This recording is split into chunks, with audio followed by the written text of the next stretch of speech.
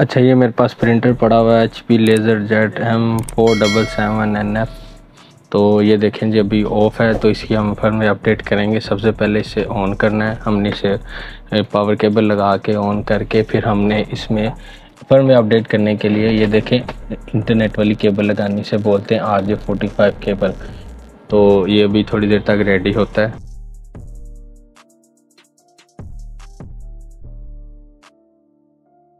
हम इसको चेक करते हैं कि कौन से ईयर की इसमें फर्मवेयर इंस्टॉल है।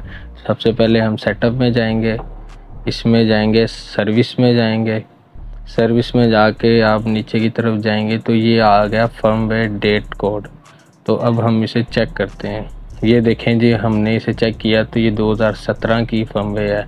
तो अब हम इसे अपडेट करते हैं, यानी कि लेटेस्ट फर्मवेयर इसमें इंस्टॉल करते हैं। तो चलते हैं। तो ओके किया। सर्विस में हम जाके थोड़ा सा नीचे करते जाएँगे इसको।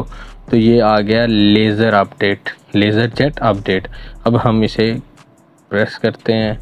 तो ये कह रहा है चेक फॉर अपडेट नाउ तो इसे हम अपडेट के लिए करते हैं। अब ये वेट कह रहे थोड़ा वेट करें जी चेकिंग चेक कर रहा है।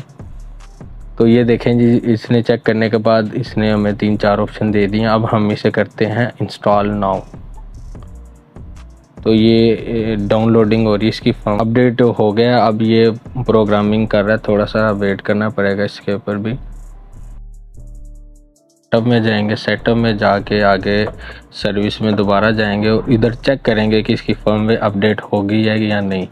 तो ये देखें जी फर्मवेयर डेट कोड तो ये देख लें जी फर्मवेयर इसकी अपडेट हो गई है। पहले थी 2017 वाली, अब 2020 वाली, इसमें फर्मवेयर इंस्टॉल हो गई है। किसी भी किस्म के प्रिंटर की इंफॉर्मेशन चाहिए हो या प्रिंटर बाय करना हो, या प्रिंटर सेल करना हो, या प्रिंटर की मेंटेनेंस करवानी हो तो आपने मुझे याद करना है।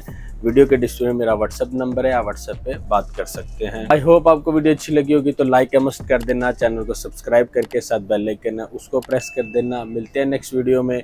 अपना बहुत सा ख्याल रखें। अल्लाह हाफिज़।